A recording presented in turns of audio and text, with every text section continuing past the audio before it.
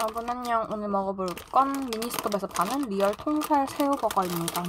가격은 3,000원이에요. 어머 왜 이렇게 비싸요? 요새 버거킹에서도 통살 새우버거 3,000원이면 이 정도 크기에 3,000원에 먹을 텐데. 안에 먼저 열어볼까요?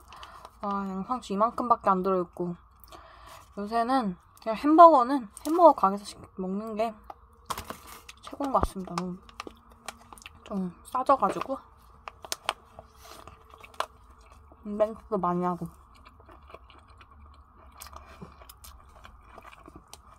음.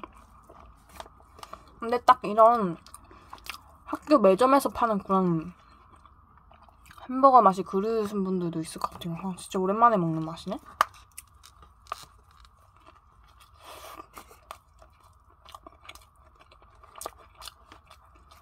음 옛날에는 햄버거 한 개 천 원 했나요? 기억이 안 나네. 편의점에서 파는 거.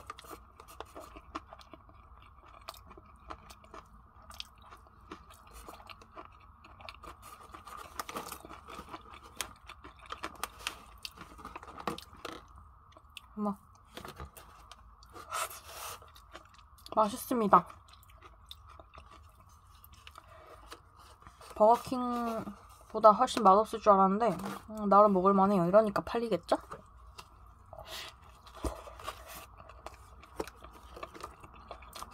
뭔가 뜨글뜨글한 건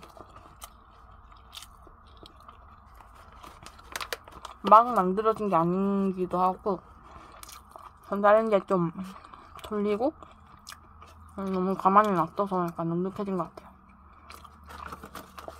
크림이랑 다르지만 그래도 맛있습니다. 이 겨자 소스가 특히 맛있는 것 같아요.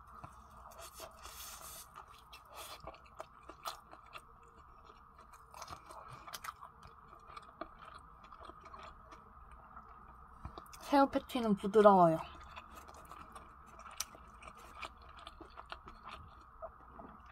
적당히 먹을만 합니다. 지금까지 한 새우가 3개 들어있었던 것 같아요. 그럼 여기까지 안녕.